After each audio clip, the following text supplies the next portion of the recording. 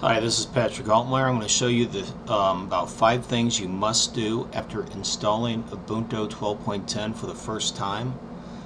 What you need to do is you need to go over to the software updater. You'll see it appear after the install in about a minute because it has 225 updates to install.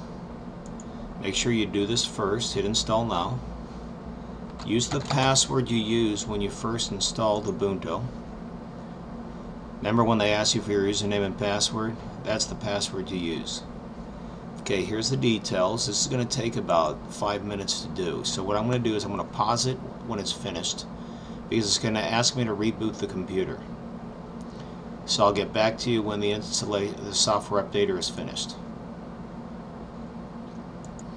Okay, as you can see here, the uh, software updater is finished. I'm going to have to restart the computer, so we will continue the video right after the restart.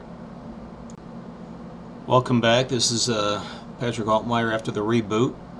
I want to show you the next couple of uh, software that should be installed. The uh, GDEB package uh, manager. It does not come with 12.10 this time pre-installed. You have to install it yourself. So you just open up Software Center and wait till it loads. Okay, you're going to hit GDEB and install the GDEB package manager. Okay, enter your password. And we'll wait till the install is finished. And the next step is you're going to install the Synaptic Package Manager. Because you're going to need that to in install some Synaptic packages you download. Because some of the packages come in the GDEB format, some come in the Synaptic package, and some come in the um, Run the dot .run uh, file extension. So we're going to install the Synaptic now. Just type in Synaptic. As you can see, it's right here. Hit install. Both of these will install. And after we're done with the Synaptic Package Manager install, we're going to have to open that up and install DKMS kernel software. If you don't do that now, a lot of programs you try to run in the future will not work.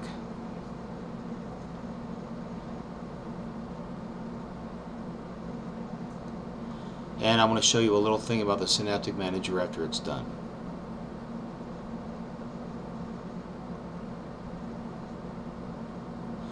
Okay, that one's been installed. Now I'm going to close out of here.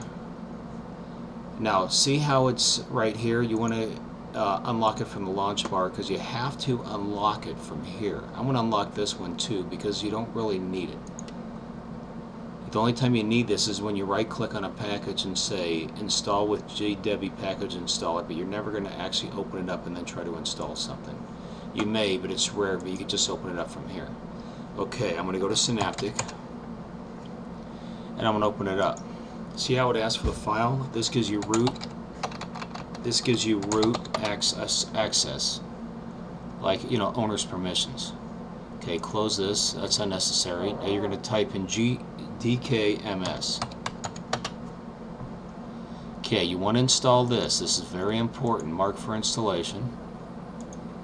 I would select yes when I show you something underneath. There's a couple of other things that have the uh, Ubuntu icon on. We can check them out to see what they're about. Okay, that's a good one to have installed.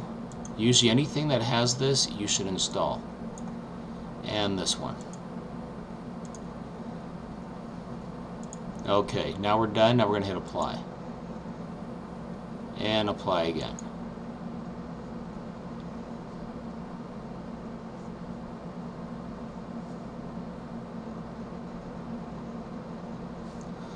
I'm going to hit automatically close when programs are finished.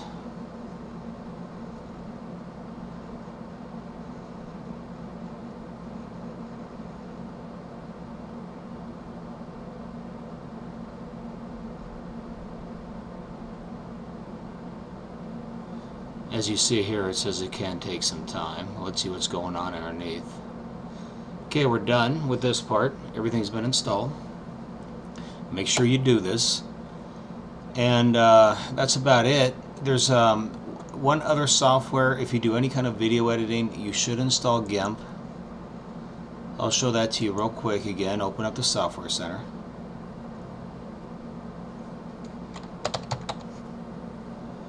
And as you can see, when we click on more info, it is the latest version to install. Go ahead and mark all these. You might as well select them all because you might need them. If you don't, they don't take up that much space. And ignore this guy, it's a good program.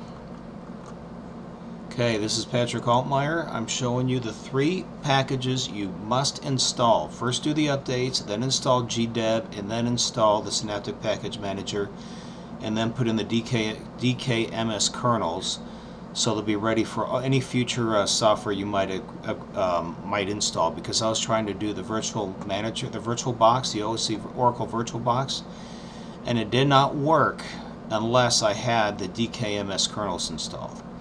This is Patrick Altmaeir I'll see you in my next video and please subscribe